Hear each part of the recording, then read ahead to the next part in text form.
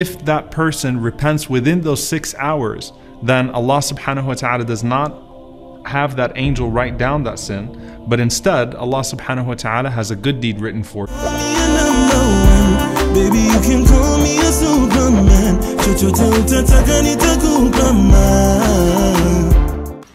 Hey guys, welcome back to our channel. It's your girl Fanny Lungu back with another reaction video. If you're new to this channel, make sure to give this video a thumbs up, share it with your friends, and of course, do not forget to subscribe. Like I said, my name is Fanny Lungu, and on this channel, we post reaction videos.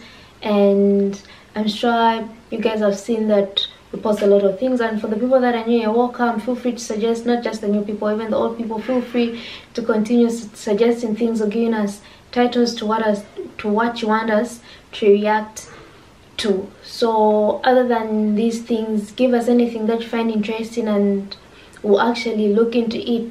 We also have a second YouTube channel called Fanny and Jessy 2.0. On that on that channel we post vlogs, weekly vlogs, so you guys can just head there and just check out the content and enjoy what's there if you want to see something there or if you have a question concerning to something on that channel comment on the on any of the videos below and we'll probably respond back. A big shout out to everyone that's been subscribing suggesting things for us to do commenting um watching. You guys are the best from forgetting anyone.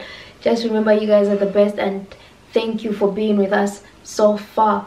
And we've got a podcast we've got uh, you can find us on social media and so many things. I mean you guys can just check our description box and you'll find the links to everything that i'm saying there. And yeah i just hope you guys are doing all right may you stay blessed may you be safe and may you just be happy. So as you can tell from the title today i'll be reacting to when you sin allah tells the angel to hold on. Big shout out to the person that suggested this we're very very grateful and so without wasting time let's get into the video I love you, Allah.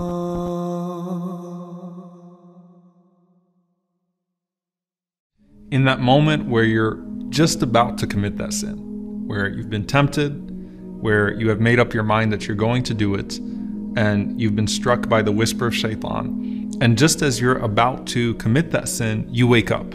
Okay, so those are the people that Allah subhanahu wa ta'ala says, تَذَكَّرُوا فَإِذَا هُمْ مُبْصِرُونَ That after they've been touched by the whisper of the devil, they wake up and then suddenly they can see. They're completely uh, you know, tuned out of that sin and they're turning back to Allah subhanahu wa ta'ala in repentance. That's the best case scenario that you were about to commit the sin and then you stopped. Where the Prophet ﷺ said, إِذَا ذُكِرْتُم بِاللَّهِ فَانْتَهُ That when you're about to commit a sin, if you're reminded of Allah, don't ignore your conscience. Don't ignore your taqwa. Don't ignore those thoughts about God. Stop right then and there. Don't say, all right, well, I'm already halfway through the sin or I'm already I'm already at the point of committing it. I might as well commit it and then worry about repentance later. Stop yourself then. But what about when a person just commits the sin? And you commit that sin, especially the first time you commit that sin, before you've become desensitized to it, you feel so dirty, you feel impure, you feel a great sense of remorse and regrets. And what you do in those moments is going to decide whether that sin becomes a means of bringing you back to Allah subhanahu wa ta'ala or that sin becomes a habit that takes you down the path of shaitan perpetually. That's where the Prophet ﷺ talks about a very unique way that we interact with these angels that are on our right and our left. وَإِنَّ عَلَيْكُمْ kiraman katibin. You have these noble angels that are recording on your right and on your left everything that you do, anything that you say, anything that you do. Allah subhanahu wa ta'ala has commanded them to write. And there is not a single word, ما يلفظ من قول إلا لديه رقيب عتيد. Not a single word that you utter, not a single expression that you utter, except that those angels write it down readily. Now, as those angels write down, they have a sense when you're about to commit a good deed or you're about to commit a sin.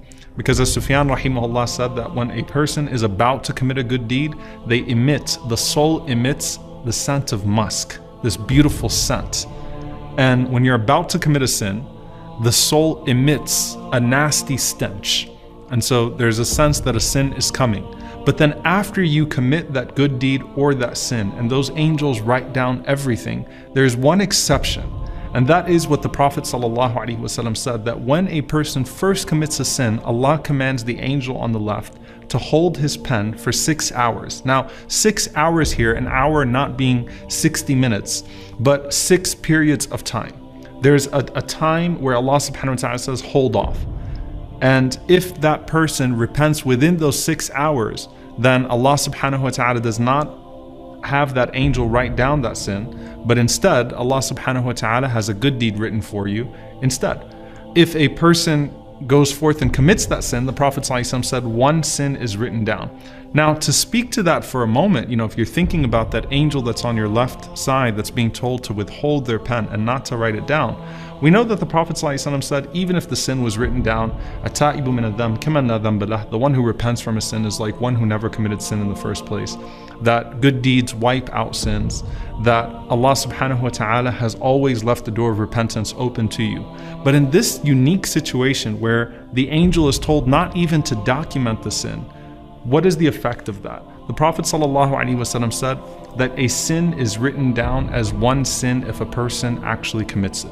But a good deed at the minimum is written at 10 good deeds, up to 700, up to whatever Allah subhanahu wa ta'ala decrees it. So from the mercy of your Lord, if you turn back to Allah subhanahu wa ta'ala immediately after committing a sin, this isn't a person that intended to commit a sin and say, I'm going to repent within six hours, so I'll be okay, so it's not going to get there. It's someone who, you know, fell into it and, and woke up right away and said, I can't believe I did that. Astaghfirullah, I turned back to Allah subhanahu wa ta'ala on your records, not only will you not have the sin ever recorded, but you'll have the good deed of istighfar, the good deed of seeking forgiveness from Allah subhanahu wa ta'ala recorded, which is at minimum 10 times, up to 700 times, up to whatever Allah subhanahu wa ta'ala decrees. And so that's the mercy of your Lord, that even as these two are recording on your right and your left at all times, Allah subhanahu wa ta'ala shows leniency through the one on the left and says, Hold your pen, see if my servant will turn back to me, see if he'll wake up in the midst of that moment, see if my servant will decide that this is not something I ever want to do again, see if this will be the means by which my servant turns back to me. And verily, a sin that brings a person back to Allah subhanahu wa ta'ala is better than a good deed that takes him away.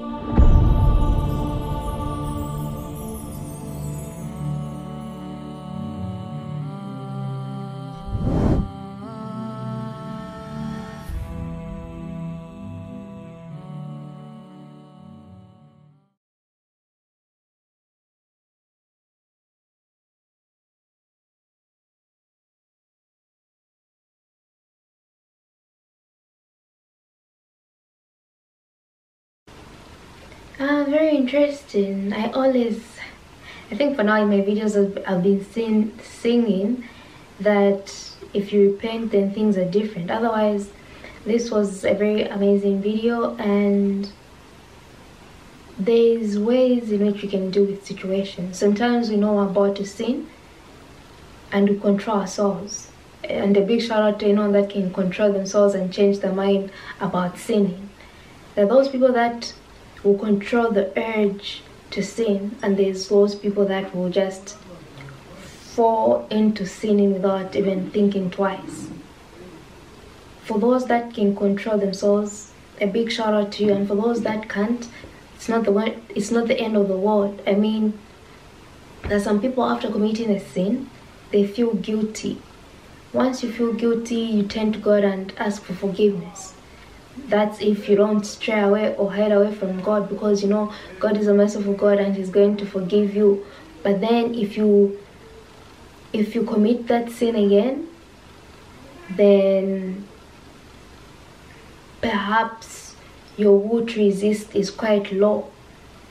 And even so even if you do it the second time you can still ask for forgiveness. But the thing is the people that repeat the same sin all over again the first time you do it, you felt guilty. The second time, you felt guilty. The third time, the guilt was low. By the time you're doing it for the tenth time, you're not even feeling guilty at all. Meaning you're straying from from God's teachings, meaning you're straying away from God. But even if you've committed it 10 times, you can still come back to your uh, senses. Otherwise, at the end of the day, if you can control yourself, good. If you can still remember God after your sin, good because that should should put fear in you not that you should fear but that should put fear in you and at least lead you to God. Otherwise, you end up losing yourself for a basic sin that doesn't last a lifetime or won't do anything from you or benefit you in 10 years from now, 2 years from now, or even 30 minutes later. Otherwise, this was very, very interesting. Whatever the situation, whatever the sin, always turn to God and just try practice um, staying away from certain sins or doing them. Let me know what you guys think about um, this video and a big shout out to the person that suggested this. Make sure to give this video a thumbs up and share it with your friends and of course do not forget to subscribe and I'll see you in my next reaction video.